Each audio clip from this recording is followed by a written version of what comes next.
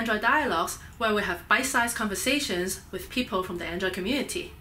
I'm Chiu-Ki Chan, and today we are talking with Hi, I'm Richa. Richa. So, where are you based and what do you do? Uh, I live in Mountain View and I'm an Android developer at Coursera. Okay. And uh, how do you get started in Android development? Um, so I didn't start Android development when I graduated out of school. Mhm. I was a backend developer uh, before I was an Android developer. And by backend, meaning writing a web server, or like what, what do you mean by backend? different things. So I Uh-huh. started with Hadoop MapReduce. Oh, okay. uh, did a lot of that Uh-huh. and then i started uh, at amazon and i Mhm. was working on server side building a lot of uh, backend services Okay. uh, to serve api requests right. Uh huh. after that i i was working on Fire phone um, Oh, for one of the Android. services Yeah. on Fire phone Uh huh. um, and then i started getting a lot uh, more and more interested Mhm. on the android app Right. it wasn't exactly an android app it was firephone app but Right. most of the code was android Yeah. Well, when you work on the Fire phone, did you work on the OS of it? I mean, oh, you, you can't talk about it. I mean, I don't know. It's kind of dicey. Uh, no, I can talk about Okay. it now. Uh-huh. Uh, I did not work on the OS directly. I was working on a voice assistant app, oh, okay. which is kind of like what Siri does. Right. Nice. Um, it was pretty interesting. Yeah, I, I can imagine that because you you have to integrate that with the OS, right? Because people will fe- use that instead of typing, pretty right, much. right. So integrate Cool. with the microphone. So you pretty much learned on the job then. You didn't like go take a course on Android or I anything did like that. actually. Okay. So I was working a lot on the backend side of Android. Right. Uh, when I started working a lot with content providers and Mhm. services and intent Right. services and things like that. Um, did a lot of work with the Contacts app and other app applications on the device because a voice assistant has to integrate with a Mm-hmm. Right, lot of yeah. apps. Yeah. Uh, but I got started getting more and more interested in how Android works, and Mhm. I actually did a boot camp, Oh, okay. an Android boot camp, Nice. mostly learning about the UI part as well. Right, because you've been focusing on the um, non-visible parts Right. of Android, and you want to learn also how to uh, handle the UI. Exactly. Yep. Cool. Which is very complex right. Um, as yeah. well. And I had no UI experience before. So this is just from ground zero up. Exactly. nice. So nowadays you have much more experience in building Android apps. Yeah. Um, is there a particular way you think about how do you build an app? How do you structure it? Because like you said, it's complex, right? So how do you approach a, a problem like that? Sure. So the best way to approach a problem is to break it down Sure. Into smaller pieces Mhm. and then handle those pieces independently, Right. individually, Right. trying to solve smaller problems at a time to solve the bigger problem. Mm-hmm.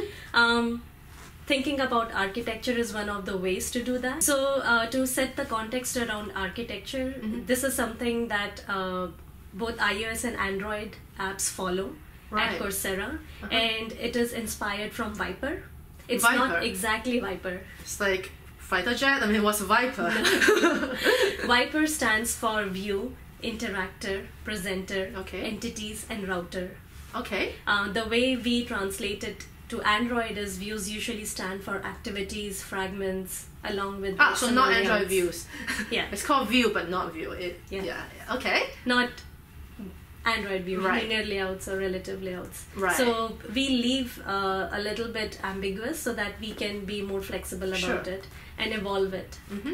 Um, the interactors are usually just layer between the presenter and the network and data store layers Mhm. or the repository. Okay. Um, the presenter usually sits between the view and the interactor, and it basically does all the event handling and presentation logic handling for the view Okay. through a view model. Okay. And what the way it works is the presenter is created by the view. The presenter creates the view model Mhm. and then passes that view model to the view, and Okay. then now we come to the view, Uh-huh. which just renders this view model. And when a user interacts with the view, Mhm. that view model gets updated and sent back to the presenter, Ah. and the presenter just manages I see. So I'm picturing the a view model kind of like a, a package of instructions that the presenter sends over to the view, the activity. Say, It's actually even render simpler. this. Yeah, it's actually even simpler than that. It's just a value object. Oh, so it's a dictionary of sort, like a, a key it's value like pair. yeah. So a simplest view model would, would have an image hmm uh, URL Right. and a title, for Okay. example, for a very simple Oh. course cell. That's almost what the server sends down over the wire. A lot of times, like, I want to display this profile, and this is Yeah. the name of the user, and then Yeah. this is the picture. Yeah.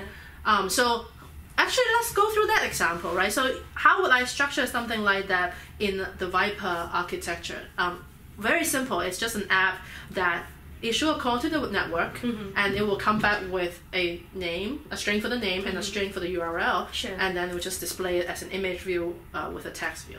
Sure. How will you architect that in that architecture? Sure. So um, normally the way when I'm given that feature, Right. um, and I know already the classes that I'm going to create, Mm-hmm. I first go for the interactor. Okay. Um, and the the interact assuming that I already have the network call or the database call that I need to make, Right. I have that those APIs ready. I just have the interactor call a data source API and ask it to give me the data. So I'm still trying to figure out how because in my head there are five boxes. There's the V mm-hmm. box, I box, P box, E box, and R box. Sure. So when I'm issuing a network call, which mm-hmm. box do I put my code in? Entities. Entities. So it's in the E box. Okay. Right. So assuming that the E box is completely written either by you or your colleagues, Right. you can then worry about the Interactor. interactor. Yes. Right, I'm getting a hang of it. So you you have the interactor go talk to the entity Right. and fetches this piece of Data. out. Yeah. So so now. So basically, I'm like, hey, fetch me this user, and then it does its magic, which is either talking to a database or talking to the network, Right. and then it come back with this object. Now Right. what? Then I write a value class Okay. to uh, to just uh, validate that this is what I got from the network.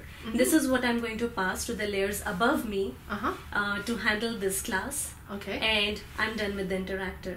Okay. So then I I take the entity uh, network um, object or wherever it's coming from, Sure. trans uh, convert it to another representation, which the layers above the interactor are going to consume. Okay. Next, I write my presenter, which Mhm. actually consumes this object that I just wrote. And usually, is it in my head? It's going to be just a simple Pojo, like a pure Java object Yeah. that has two fields in it. One is Exactly. string title and string image URL. Right. Okay. So for your example, Mhm. it is going to have an image URL uh-huh. and a title, two Right. strings. Okay. So Simple. now I transform the JSON coming down the wire into this, Right. and the pre and and So give it to the presenter. Yeah, that's already been done by the repository again. So oh, so not even like the, the interactor actually does nothing. The interactor may need to interact with system services. Okay. So that's the part that it that is made simple there. Mm. So say uh, along with some data from the network, you also Right. need to interact with the location APIs right. to pull um, location data. Mhm. Where is the user right now, for example, Okay. or some other system services? Um, then this is where you would make those Mm-hmm. Right. calls. So yeah, I could imagine maybe um, I will fetch from the server that this is the name and the email, for example, and, and the image URL. And if the context has the phone number, I will also annotate the phone number and then pass it over to the Exactly. presenter. So Alright. so whoever the it's the job of the interactor to worry about Mm-hmm. interacting with either the data or the system. But not the user. The view does that. No, the the view again. It's a presenter that's handling this, but we can go into that. All right. So now the interactor is done. Hand it over to the presenter. Right. Okay. And what happens? So now when the so then I start writing my view and the presenter together. Oh, okay.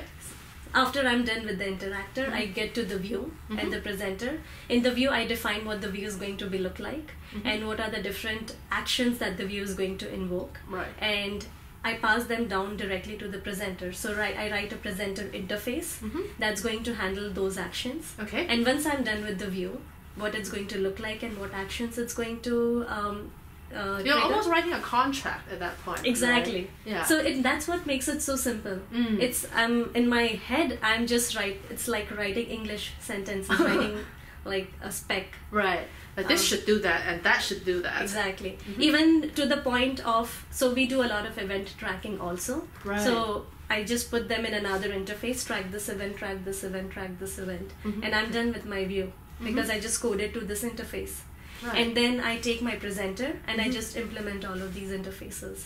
Like implement this uh, action on button Right. click and implement this action when the view is tracking something. Yeah, I like that because the boxes are very well contained, so I can Right. test them very well. That's the other advantage. Yeah. And that's the way you validate Mhm. how good your architecture is. You just Right. write tests for them. Yeah. If it's easy to write tests, Mhm. that means you have done a good job.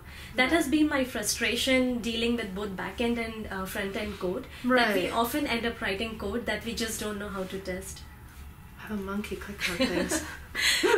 but So then the, the, network may be down, you know, so monkey can right. click, click How would you mock Yeah. different things out? Right. Right. Mocking is the biggest problem. Right. How do you mock? But when you have the entity completely contained in its own box, then you can swap it in with a Exactly. mocked entity. Right, right. And then you can just tell, now I'm going to give you an object with no image URL. More ha ha ha. What are you going to do now? and then and then uh, all the modules down the line will need to handle it properly. Yeah. And that brings me to your other question about libraries. Right. Um, so Dagger is awesome for that, Hmm. where you can just mock out things and then have Dagger provide you the mock implementations by injecting them. Uh huh. Uh, for configuration objects like a network client or a database client, Mhm. um, these layers between uh, two objects, uh, we also use it to mock out event trackers and other things. Yeah. Um, we have a tweaks module which just uh, which just is a drop down in the debug mode which we can use to enable and disable certain features. oh, nice. So Great. we use that. And I believe you actually gave a talk on this at uh, Montreal. Yeah. Um, is the video available? Can people go watch it and learn So more? um, I don't know if the DroidCon Montreal video is available yet, Uh-huh. but I gave another talk uh, at Coursera itself Oh. at an Android meetup, and that talk is available on YouTube. And I can share the link. With yeah, you. so we'll add that to the show notes so that people who are interested in the Viper architecture can learn more. sure. Great. Well, Richa, thank you very much for talking with us. And if people want to find out more what you do, where do they find you on the internet? Uh, I am very active on Twitter, so mm-hmm. a best way to reach me is to tweet to me at Richa123. Richa123, that's how you find her on Twitter. And if you want to follow me, my Twitter handle is Chiu-Ki, C H I U K I. And thank you so much. Thanks a lot, Chiu-Ki. Bye. Bye.